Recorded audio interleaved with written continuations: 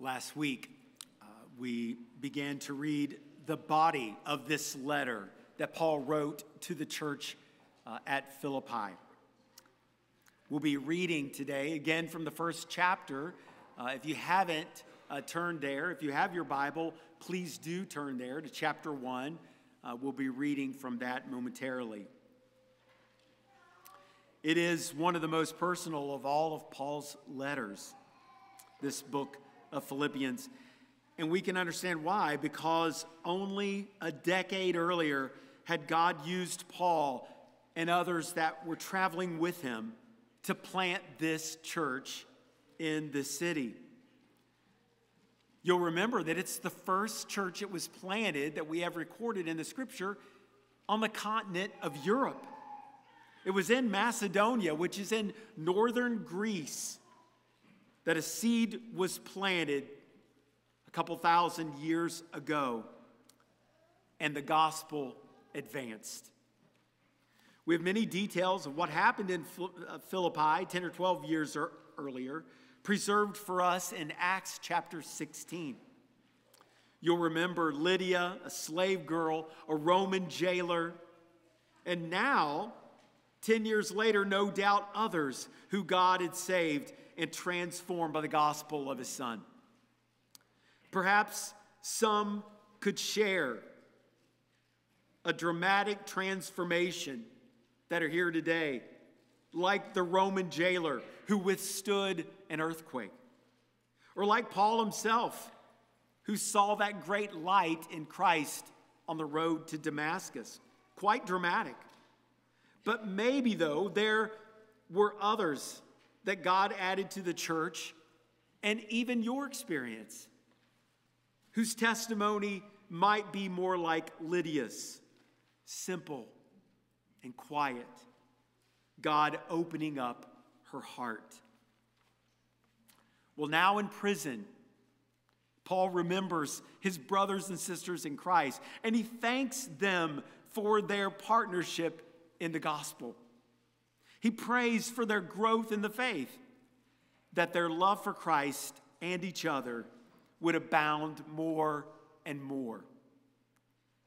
So today, we turn to chapter 1, and I'm going to go back and begin with verse 12, though we will be focusing on the last section that I'll read. If you have your Bible and you're able to stand this morning, stand with me as we begin Philippians 1, chapter 12 through, excuse me, chapter 1, verse 12 through 26. Paul says this I want you to know, brothers, that what has happened to me has really served to advance the gospel.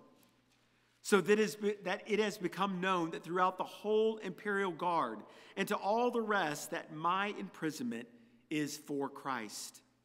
And most of the brothers, having become confident in the Lord by my imprisonment, are much more bold to speak the word without fear. Some indeed preach Christ from envy and rivalry, but others from goodwill. The latter do it out of love, knowing that I am put here for the defense of the gospel. The former proclaim Christ out of selfish ambition, not sincerely, but thinking to afflict me in my imprisonment. What then? Only that in every way, whether it is in pretense or in truth, Christ is proclaimed, and in that I rejoice. Yes, and I will rejoice. For I know that through your prayers and the help of the Spirit of Jesus Christ, this will turn out for my deliverance, as it is my eager expectation and hope that I will not be at all ashamed, but that with full courage now as always, Christ will be honored in my body, whether by life or by death. For me to live is Christ, and to die is gain. If I am to live in the flesh, that means fruitful labor for me. Yet, which I shall choose, I cannot tell. I'm hard pressed between the two. My desire is to depart and be with Christ, for that is far better. But to remain in the flesh is more necessary on your account. Convinced of this, I know that I will remain and continue with you all for your progress and joy in the faith, so that in me you may have ample cause to glory in Christ Jesus because of my coming to you again. Praise God for his word, and may he bless this reading uh, to us today. You may be seated.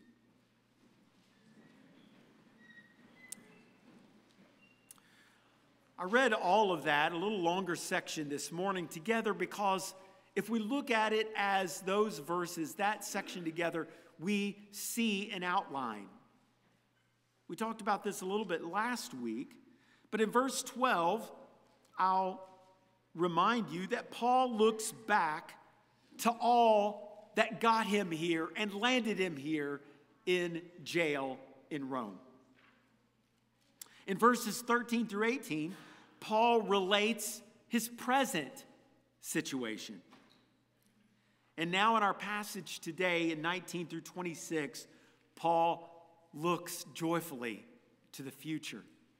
So you get in this section, of course, his past, his present, and his future. All that has happened to me, all of my past sufferings, the difficulties, he includes them all. Even my imprisonment has been, in verse 13, for Christ. This would, I'm sure, make the Philippians recall being imprisoned, uh, Paul being in prison with Silas 10 years earlier when they came and planted that seed. Now, at the present time, in verse 16, Paul writes, I am put here again. Again, once again, in prison for the defense of the gospel. So Paul goes through his life being in prison. These are the things that had happened to him, these are the things that are happening to him. And things will ultimately transpire that Paul will be martyred because of these things. Because he says in verse 13, they are for Christ. And in verse 16, they are for the gospel.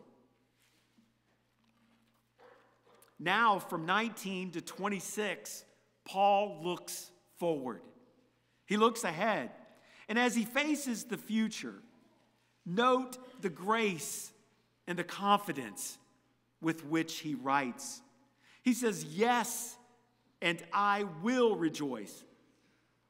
He's rejoicing now in the present as we read at the end of chapter 18. He says, Now I rejoice. I rejoice. Christ is proclaimed. I rejoice. That's present tense language.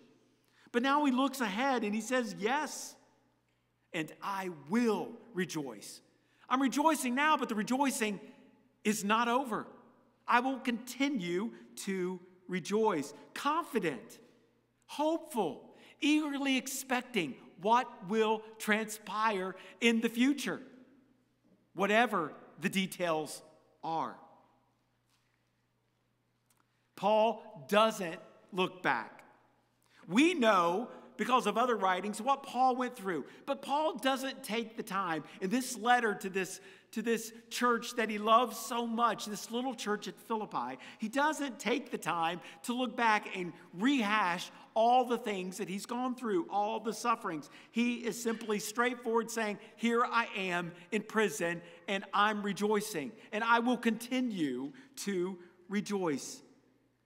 He didn't go into personal details in verse 12. Paul intends to encourage the Philippians by saying, Whatever has happened to me has had a divine purpose, a divine trajectory in my life that has landed me here for the purpose of advancing the gospel.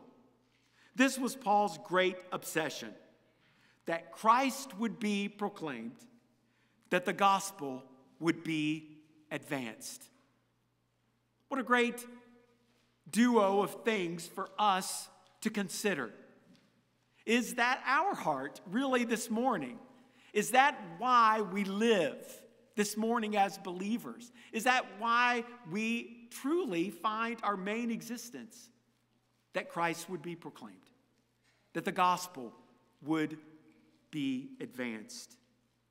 So, how was this happening? Well, it was happening through evangelism. We just read that Paul was imprisoned and chained to the imperial guard. These are the bodyguards for the emperor.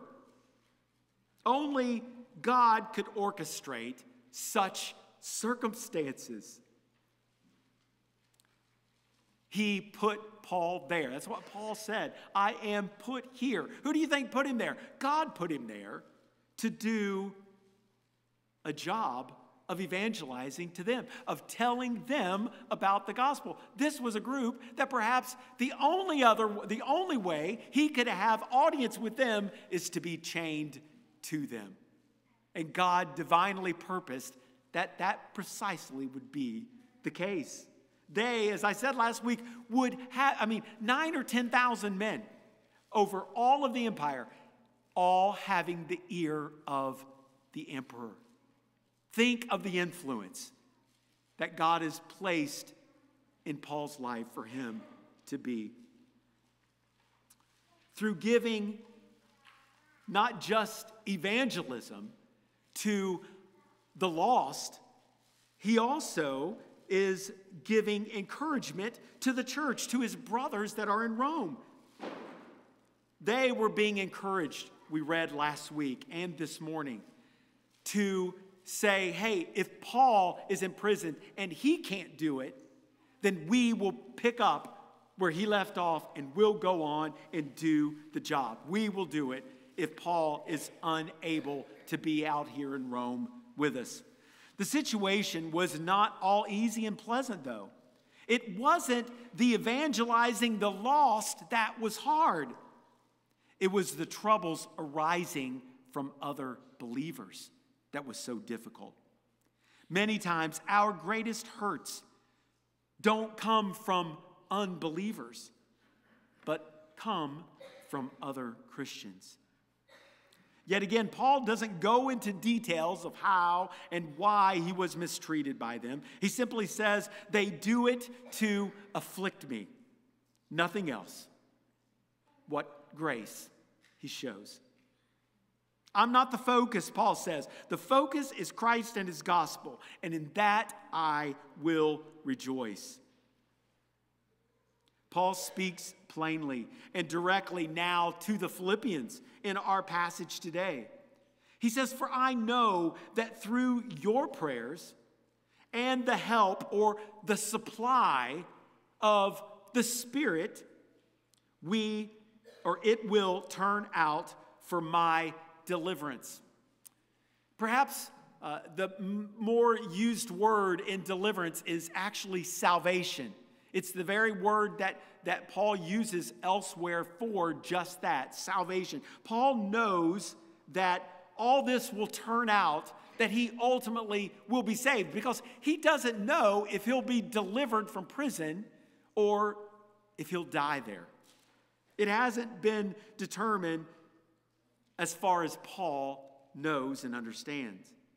So here, Paul brings the human asking for their prayers and the divine asking for the supply of the Spirit together. Your prayers and the, and the supply of the Spirit will turn out or will result in my salvation. Paul is confident that he will be saved from this situation. Deliverance will come one way or another. I mean, what a real solid, simple look at life. One way or another, if you've been touched by the Lord this morning, if you've responded to the grace that's offered to you this morning, if you are a believer because God started a work in you, the good news is there's no uncertainty about what will be or what won't be. The details really they don't matter. That's why Paul would say to live is Christ, to die is gain. He is certain as he says, I know in verse 19. I know I will be delivered. It's my eager expectation, it's my hope. When we read of hope in the New Testament, it's not a wishful way of thinking. Oh, I just wish that this would happen. That's not what biblical theological hope truly is. It is a confident certainty, it is knowing. It is verse 6 again. It is understanding and believing that God, who started this good work in me, will bring it to completion. That's hope. Not a wish, but a true conviction. Whether by life or by death, he says, I know the things will work out, but I just don't know how the details are going to come together. We have that same hope this morning if we've trusted in Christ. We don't know what the details of our lives are going to be. We don't know what today is going to bring. We don't know if tomorrow will even happen for us. But we can be confident. We can be hopeful that our hope is placed in a God who promises and delivers on his promise. This is Christian hope. It's biblical hope. It's not a wish, but it's an eager expectation.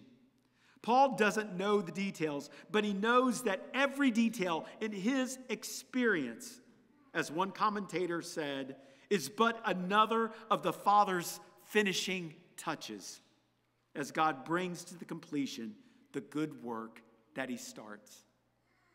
This is a sure faith for Paul and for us too. The true believer never needs to fear the outcome of the events of his life, for we know that God is working all things together for our good. God will complete his work. That is what we might call the ends. Yet Paul is aware of the means by which these ends will happen. And he says, Your prayers and the supply of the Spirit, he puts them together right together. Paul recognizes his weaknesses and his own needs because he's asking the Philippians to pray for him. He needs their prayers. And it is our responsibility today to one another to pray for one another. We depend on that. We live by that. He needs their joyful prayers but he also needs the help and supply of the Spirit. Paul knows his duty. He knows what his responsibilities are. And he says like this He says, I will not be ashamed. I will not be put to shame. But that with full courage, now as always, what a phrase, Christ will be honored in my body, whether by life or by death. Paul's saying that whether I live or die, it really doesn't matter. What Paul is saying, either way, Christ will be honored. He will be exalted. The word there is really, he will be magnified. He will be enlarged in me. That's the Greek word. That's the meaning. That Christ would be enlarged megalino. He would be enlarged within my body, within my life, everything that makes up who I am. Now, as always, Paul said. What, a, what an expectation of himself. Paul had a duty. He wasn't perfect, but he found his confidence in God's gracious help and the prayers of God's gracious people that God would indeed supply his need, every need, according to his riches and glory. And in addition to that, that the people would pray for him.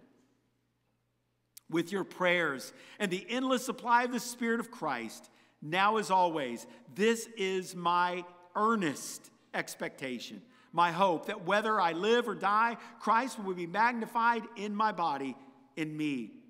And that means in everything that makes up my life my conduct, my pursuits, my relationships, my attitudes, my thinking, my speaking, my acting, my worship. In life or in death, let Christ be magnified. I must decrease, He must increase. Man, I'm convicted are you convicted this morning Do you ask the question to yourself, like I've asked that question to myself all week long? Is this the pattern of my life? Is this my way of living? Is it the pattern of my home and of my marriage, of my parenting my kids, at my work? Does this define who I am? The proclamation of Christ and his gospel? Paul concludes that for to me to live is Christ, and to die is gain. Seth read earlier from chapter 3 this morning in the book of Philippians, and I had him do that because there Paul recounts his life. He does look back and he said, Whatever gain, did you get that? Whatever gain I had, I counted. I counted that gain for loss for the sake of Christ. In that passage, Paul was remembering the day when Christ became everything to him. He counted the cost. And Paul found Christ to be worth more than all those other things. All those personal accomplishments and accolades that he could collect. I counted those but loss, he said. Now, in our passage this morning, Paul is still counting. He's still thinking about the change and transformation that the Lord had made in his life, and he's still finding Christ to be worthy of his expectations and every hope that he had.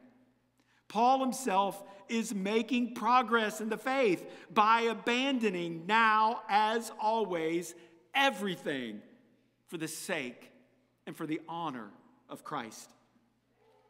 For me to live is Christ and to die is gain. Paul is defining his life as gaining Christ and defining his death as the ultimate gain of Christ. Another commentator said, Life means Christ to me as I grow in my knowledge and love for him. And death will mean Christ to me when I will depart and be with him. So Paul says, How can I possibly choose? Which way would I go if I had my choice? He said, The benefits are bo- of both are glorious. I'm hard pressed between the two. The truth is the same for us today because the truth is either we will live today or we will die today. There, that's the only two alternatives we have. There's nothing in between. We're either going to live or we're going to die. There's no other option. Paul says to live is Christ. To live means fruitful labor for me to do for Christ. To live is necessary and it's needful for you, my Philippian brothers and sisters for you. But to die, well, to die is gain. It continues to be gain. It is to depart and be with Christ. It is, Paul said, far better. How do I choose between far better and more need, needful? What an abounding love for God and neighbor Paul displays here. What a godly indecision he speaks of. Here we see the true nature of a Christian's death. You know, our life here is just transitory, isn't it? Paul will, will later tell us that we're pilgrims and strangers in this world, but we're citizens in another world.